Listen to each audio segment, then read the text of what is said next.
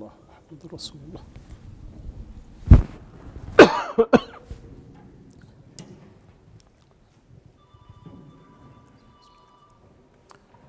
إن الحمد لله نحمده ونستعينه ونستغفره ونعوذ بالله من شرور أنفسنا ومن سيئات أعمالنا. من يهده الله فهو المهتد. ومن يضلل فلن تجد له وليا مرشدا All praise is due to Allah, the creator of the universe. I bear witness that La ilaha illallah and I bear witness that Muhammad sallallahu alayhi wasallam is the messenger of Allah subhanahu wa ta'ala. أشهد أن لا إله إلا الله وأشهد أن محمدا عبده ورسوله. My brothers and my sisters, if one would like to count the great blessings that Allah subhanahu wa ta'ala gave us, some of us will say it's our health. Others will say it's our wealth. And maybe some will say it's our education or the country we live in. But as Muslims, the greatest blessing of Allah subhanahu wa ta'ala is al-Islam. To be a Muslim and to understand Islam is the greatest blessing that Allah subhanahu wa ta'ala gave each one of us. My brothers and my sister, be proud, be happy, and be content that you are a Muslim. Because to be a Muslim and to understand Islam and to live Islam and to share Islam, you will be doing the best service to mankind. And at only that particular moment, you will be serving Allah subhanahu wa ta'ala in the best possible way. Allah subhanahu wa ta'ala describes your mission and my mission and our mission in life وما خلقت الجن والإنس إلا ليعبدون Allah has created you for one thing is to be in servitude to Allah subhanahu wa ta'ala is to be in service to Allah subhanahu wa ta'ala, not to be in service to anyone else, not to be in service to your health or your wealth or your family or your job, although you can do the service for these specific things, but your final goal is Allah subhanahu wa ta'ala. And that's why we as Muslims understand the meaning of Allahu ghayatuna. Allah is our objective. Allah is whom we serve. والرسول قدوتنا and رسول الله صلى الله عليه وسلم is our example. Two important facts. الله غايتنا والرسول قدوتنا. Allah is whom we serve and Rasulullah, the messenger of Allah, is whom we take as an example. My brothers and my sisters, three characteristics are important for each Muslim to understand about Islam. The first most important characteristic that it's divine message. That Islam is divine. Islam is not man-made. Islam was not founded by Muhammad sallallahu alayhi wasallam. Inna ad-dina 'inda al-Islam. The religion that is accepted in the sight of Allah subhanahu wa ta'ala is Islam. And you as a Muslim, you need to be proud of accepting that particular religion. And remember, this is the first characteristic. Al-Quran al-Kareem, my brothers and my sisters. There is no other book, divine or otherwise, that can be similar to Al-Quran al-Kareem from the first word, Bismillah ar-Rahman ar-Rahim, until the last word, An-Nas. It's a divine message. Never changed, not one word added to it, not one word taken from it. That is powerful. For the past 1400 years or more, Al Quran Al Kareem is the eternal guidance, not only for Muslims, but for mankind. That is the first characteristic. The second characteristic is the comprehensiveness of Islam. Shumuliyatul Islam. Islam is a comprehensive way of life. The way you talk is Islam. The way you walk is Islam. The way you go to school, the way you teach, the way you learn, the way you bring up your family, the way you feed your children, the way you take care of your spouse, it's all Islam. Islam encompasses all your activities. Islam encompasses everything you do in life. And that is the second characteristic. The first characteristic is it is divine message from Allah to mankind. The second, that it is comprehensive. It is not limited to people sitting in the masjid. It is not limited to people doing worship here or there. It encompasses. That's why Rasulullah sallallahu alayhi wasallam says, جُعِلَتْ لِيَ الْأَرْضُ مَسْجِدًا The whole earth is a masjid for Rasulullah sallallahu alayhi wasallam and for the followers of Rasulullah. What does it mean? It means for you and me that we need to take Islam everywhere. Islam is not limited to the masjid.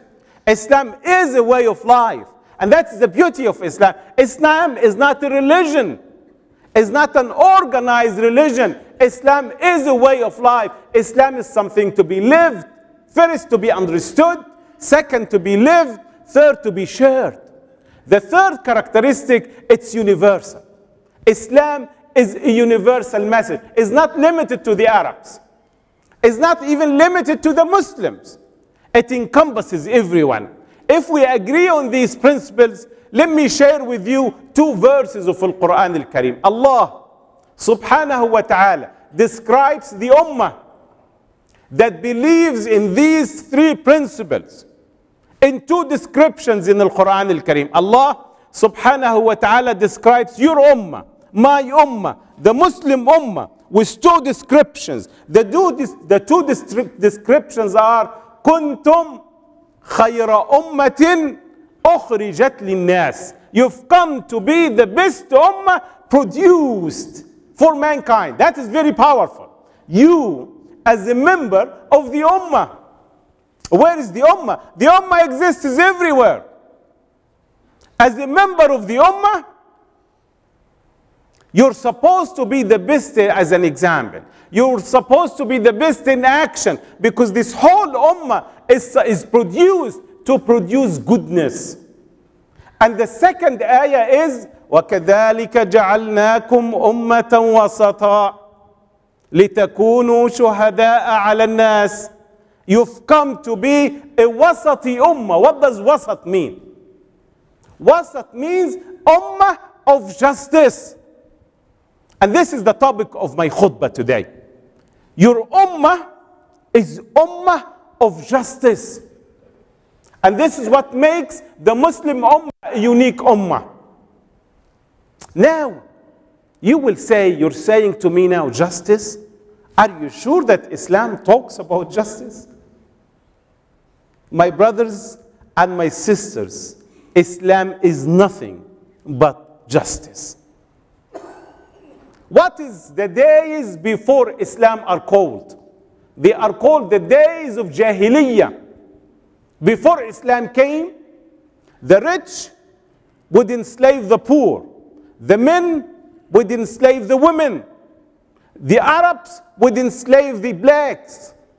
That was the characteristic of the Jahili days before Islam. Islam came for justice. Islam came for justice, my brothers and my sisters. That's why Bilal, Sayyiduna Bilal, you know Bilal? Bilal was an African. He was nothing in the Arab world. He was nothing, literally nothing in Arabia. He became a Muslim, so he became Sayyiduna. He becomes our master is Bilal. That is the beauty of Islam. Islam does not know any discrimination, any form of racism, any form of injustice. And you, as a Muslim, you're invited to live justice. You hear me? To live justice, to share justice. When there is injustice anywhere on the face of the earth, you, as a Muslim, you're supposed to stand up for justice.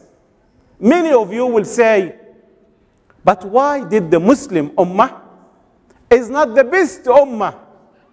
Why the Muslim Ummah nowadays is not the best Ummah? In the khutbah, I will not be able to elaborate a lot, but I would like to invite you tonight. I will be speaking again tonight in the family night to answer this question or to try with you to answer the questions. Why is the Muslim Ummah backward and why other nations are moving forward? What is the difference between a just Ummah and an unjust Ummah? But this khutbah, I will focus mainly on justice, the concept of justice.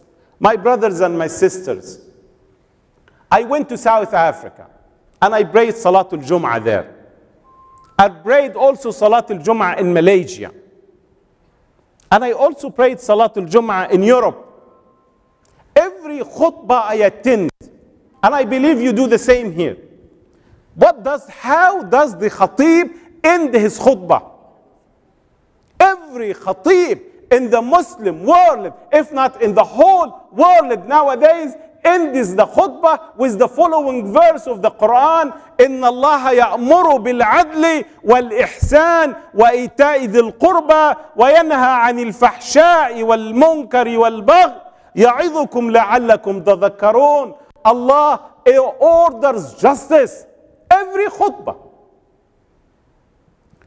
everywhere I went Allah enjoins justice إن الله يأمر بالعدل So you and me, my sister there and my brothers here, need to answer this question. What does justice mean for myself? As a Muslim, you need to be just in your relationship to Allah subhanahu wa ta'ala. You need to be just in your relationship to your physical being. You need to be just in your relationship to your spouse, your husband or your wife. You need to be just in relationship to your children, and your children need to be just to you. Your relationship between your neighbors, your relationship between people working with you, every action you do has to be based on justice. And I would like to talk a little bit about this word of justice. But before I go on, let me share with you a couple of ayat. Allah subhanahu wa ta'ala teaches us in the Quran al Kareem that all messengers of Allah and all books sent from Allah subhanahu wa ta'ala sent for one purpose only. And that purpose is to establish justice. Allah subhanahu wa ta'ala says in Surah Al Hadid, Hadid, Surah, Ayah 25. Please check it out for yourself when you go home tonight. No, tonight you can come here to the mosque. But maybe tomorrow you can check this with your family. Say, let us, the Imam told us about verse 25 in Surah Al Hadid, in the surah about ayah. Allah subhanahu wa ta'ala says, لقد أرسلنا رسلنا بالبينات وأنزلنا معهم الكتاب والميزان ليقوم الناس بالقسط that Allah has sent messengers and messages بالبينات by miracles وأنزلنا and Allah has also sent with the messengers two things knowledge and balance knowledge and balance الكتاب والميزان your one has to have the knowledge to be able to live a balanced life so Al-Kitab wal-Mizan. But why Allah? The question is, why Allah have you sent messengers with knowledge and balance? لِيَقُومَ النَّاسُ بِالْقِسْطِ so that people, and look at the Quranic word, it does not say Muslims. It says people. All people. As a Muslim, you have to be concerned about justice everywhere.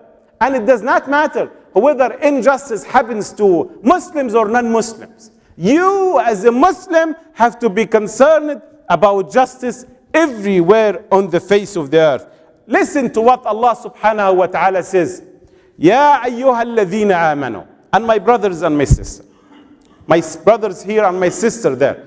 Every time you hear Allah says, Ya ayyuha alladhina amanu. While you're reading the Quran, and Allah says, Ya ayyuha alladhina amanu. You have to stop. Say, oh, Allah is talking to me. I need to listen. I need to listen carefully. يا أيها الذين آمنوا كونوا قوامين لله be standing up all the time for Allah شهداء بالقسط establishing قسط قسط is a Quranic word means just and you see the relationship between qist and just you will find them related to one another both in English and Quranic Arabic qist and just are related to one another Allah is inviting you as a believer you as a Muslim as a believer, when you see injustice happens anywhere on the face of the earth and you don't care, you're part of the problem. You have to condemn any form of injustice. When I first came here, this is my first visit to you here, and I'm so happy to meet all my brothers and my sister. And I found the name of your masjid is the Masjid of Salam. As-Salam and I remember in Pittsburgh, Pennsylvania, we used to say, when there is no justice, there is no peace. Peace has to be based on justice. My brothers and my sisters, Allah subhanahu wa ta'ala teaches us, وَلَا يَجْرِمَنَّكُمْ شَنَآنُ قَوْمٍ عَلَىٰ أَلَّا تَعْدِلُوا اعْدِلُوا Never let the hatred to any people take you away from justice. Be just. Many, many times in the verses in the Quran, Allah subhanahu wa ta'ala invites us to understand justice, to live justice, and to share justice. My brothers and my sisters, I know on Sunday there is an important moment in Muslim history. It's called Al Isra wal Mi'raj. And you know, you love Muhammad sallallahu alayhi wasallam. You can never be a Muslim if you don't love Rasulullah sallallahu alayhi wasallam. But if you love Rasulullah, you need to do the work of Rasulullah sallallahu alayhi wasallam. You cannot say, oh, I love you Rasulullah, but then I do opposite work. Allah subhanahu wa ta'ala says, قُلْ إِن كُنْتُمْ تحبون الله فاتبعوني يحببكم الله if you were really truly loving Allah you need to follow Rasulullah sallallahu alayhi wasallam let us talk about Rasulullah our beloved Muhammad sallallahu alayhi wasallam all his message was a message of justice before salah many people accepted Islam because of just justice it provided Many people. And justice, complete justice, blind justice, justice for all, regardless whether you're rich or poor, white or black. It did not matter, Arab or non Arab. Justice for all. One size fits all. That is the justice that Islam worked for. That's why you and me, that's why when Muslims came to us in Egypt, I am from Egypt, I was born in Egypt. When Muslims came to us in Egypt, we loved Muslims. We accepted Islam. Why? Because it brought us justice. The only thing that we needed to enjoy the difference between a human being and subhuman is justice. If you live in justice, you're a full human being. But justice, my brothers and my sisters, cannot come to you free. There is nothing free. You have to pay a price to defend justice and to live in justice. Look at Rasulullah sallallahu alayhi wasallam. Working from day one for justice, for equality, for freedom for all. And then her uncle passed away. His uncle was his protector. Passed away. And then his wife, his beloved wife, passed away. So, and the people of Mecca were giving hard time to Rasulullah sallallahu alayhi wasallam. They were not doing justice, but he didn't say, okay, okay, I will accept the status quo. I will submit to them. He said, No, never. That's why, my brothers and my sister, if someone wants to become a Muslim, the first thing that person says, La ilaha illallah. There is no justice teaches us the ability to be able to say no to injustice. If we fail to say no to injustice, then we become part of the injustice that is being committed against us. إن الله لا يحب الظالمين. Allah does not love those who are unjust. Then Rasulullah sallallahu alayhi wasallam decides to go to Ta'if. At Ta'if was another district close to Mecca. What happened to him? The leaders of Ta'if told the kids in the area, Oh, this man is coming to play with your minds. Let us throw stones at him. Can you imagine that Rasulullah sallallahu alayhi wasallam was thrown by stones until he started bleeding? Why? Because of his work for justice. Because he wanted them to understand the message of Islam. At that particular moment, Al Isra wal Mi'raj comes in place. Allah subhanahu wa ta'ala looked at Rasulullah sallallahu alayhi wasallam and found him trying to do everything he could in his power so that the message of Islam can be spread to the rest of humanity. And then Rasulullah sallallahu alayhi wasallam invited Rasulullah sallallahu alayhi wasallam. I will not spend a lot of time because you may have your own programs on Sunday about Isra and Mi'raj. But three important principles we need to know. So there is a surah in the Quran al-Karim. It's called Surah Al-Isra. سبحان الذي أسرى بعبده ليلا من المسجد الحرام إلى المسجد الأقصى الذي باركنا حوله لنريه من آياتنا. It's very important to understand as a Muslim the connection between the Masjid al-Haram in Mecca and the Masjid al-Aqsa in Jerusalem in Palestine. And you cannot talk about justice while not talking about what happens in Palestine. If you have Palestinians among you, they've been suffering for decades. They've been suffering from injustice, not only Palestinians, but Syrians, Iraqis, Afghanis, Egyptians, just name it. So many people are suffering from injustice. As Muslims, it's very important to understand that the Masjid of Al Aqsa, Al Aqsa Mosque, is under occupation. And your responsibility as a Muslim to work as much as you can so that you can bring justice to this second most important holy place. So we have three places Masjid al Haram, Al Masjid al Aqsa, and Al Masjid al Nabawi. The third important point of Al Isra wal Mi'raj is Salah. Salah came to be prescribed during that journey. We as Muslims, we need to pay special attention to Salah. And Salah, my brothers and my sisters, and that is not just that movement that we do it without the spirit behind it.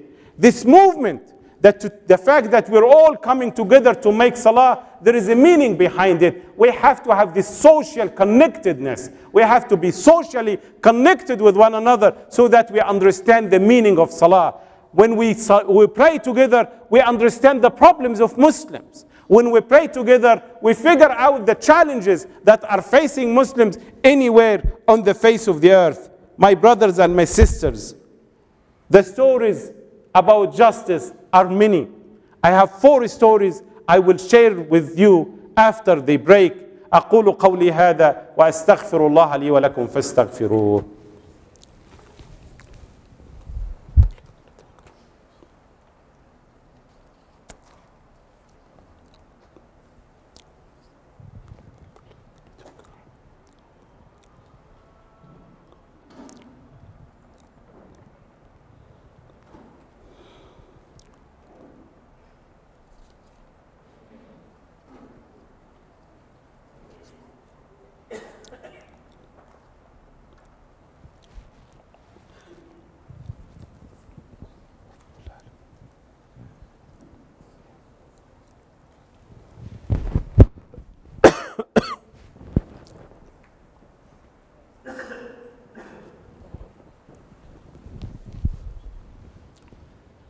إن الحمد لله نحمده ونستعينه ونستغفره ونعوذ بالله من شرور أنفسنا ومن سيئات أعمالنا Today's khutbah, my brothers and my sisters, for those who came late, give a very brief summary. Was about the most important value in Islam.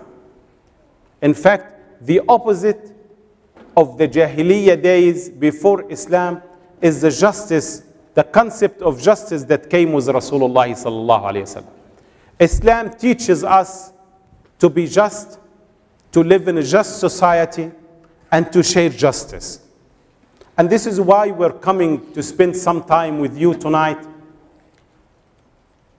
I need to see all of you and more others, those who could not make it to, for Salatul Jum'ah, so that we can talk about the concept of justice and how can we live it in America. If any Muslim in America is having any problem with the justice system, please come tonight. If any Muslim would like to know what are your rights, what can you do, if any problem happens to you in the justice system, in the court system, in the prisons, or anything else, please come tonight. We have two speakers will be able to address all these particular points. It's very important for the Muslim community to be active on that particular matter, especially the issue of justice that Islam calls for and considers it one of the most important values of Islam. When we talk about justice, we have to talk about Umar ibn al-Khattab. We cannot talk about justice without talking about Umar ibn al-Khattab. Caesar sent someone to check on Umar.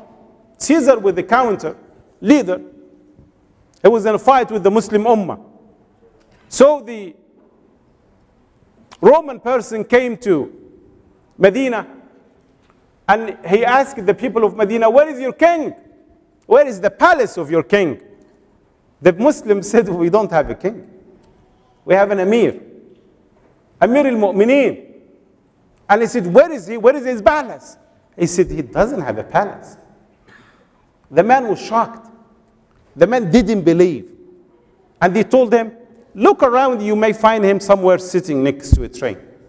Then, if, when he found him sitting there under a train, he said it so beautifully.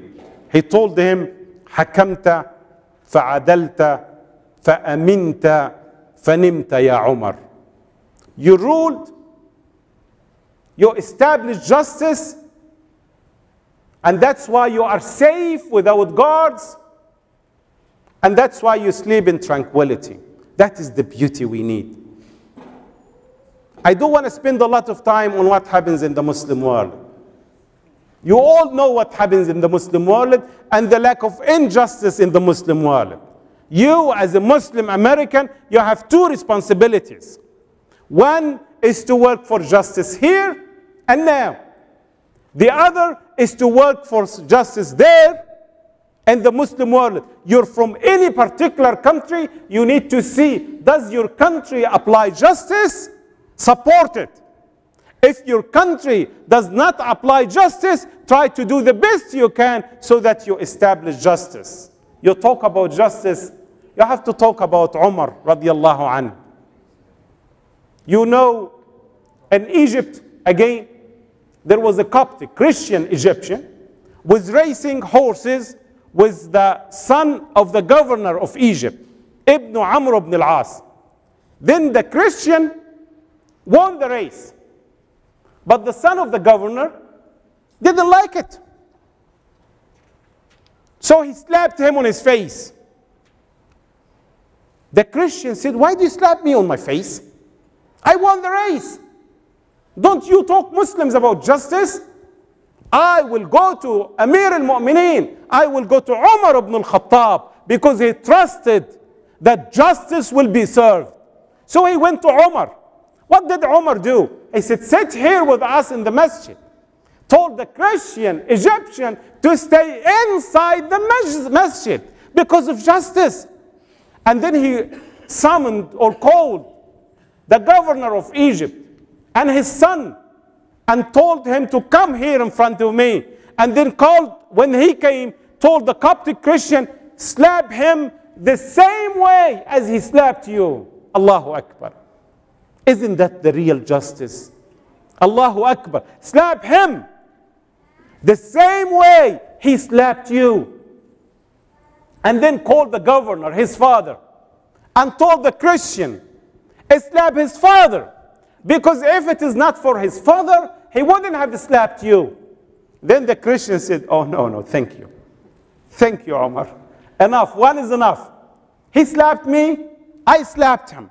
That is justice. I'm not going to slap his father.